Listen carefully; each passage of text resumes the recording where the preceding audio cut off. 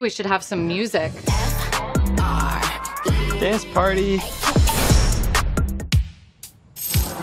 Gary, Court order for asset seizure. they're taking my car. You went radio silent on me. Is that what this is about? Just last night, I thought I missed that fucker. Is that true?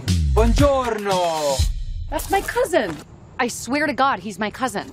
He's my. Dos estrenos llegan esta semana a las salas de cine de Santiago del Estero para renovar las carteleras y se suman a las películas que vienen sosteniendo la taquilla con muy buena asistencia, como Barbie y Oppenheimer, que continúan una semana más en cartel.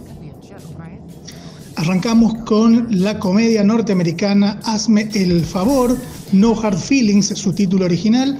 Esta película marca el regreso de Jennifer Lawrence, la actriz nominada al Oscar, que después de un tiempo de inactividad vuelve con este protagónico, acá interpretando a Maddie, una joven que está por quedarse sin casa, no tiene un buen trabajo y consigue justamente eh, lo que sería una changuita para nosotros, para dos padres adinerados, muy controladores de su hijo adolescente, quieren que su hijo tenga una relación con una chica antes de ir a la universidad porque parece que el chico es bastante quedado. ¿Será tan así? Habrá que ir a ver esta comedia que le ha ido muy bien en Estados Unidos.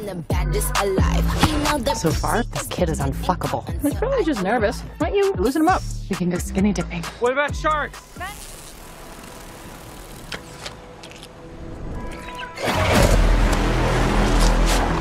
Y el otro estreno tiene que ver con la segunda parte de lo que parece va a ser una saga Megalodon 2, El Gran Abismo, es el subtítulo de esta película. Ah, la segunda parte de The Meg, acá los tiburones son gigantes, acá hay dinosaurios, acá hay muchos animales prehistóricos y también animales del mundo eh, acuático.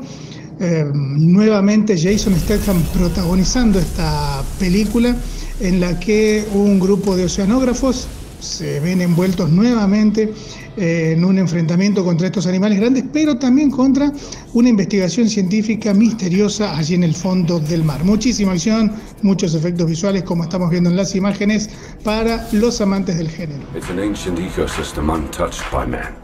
Whatever is down there is trying to make its way to the surface. This was a bad idea. Just a little bit.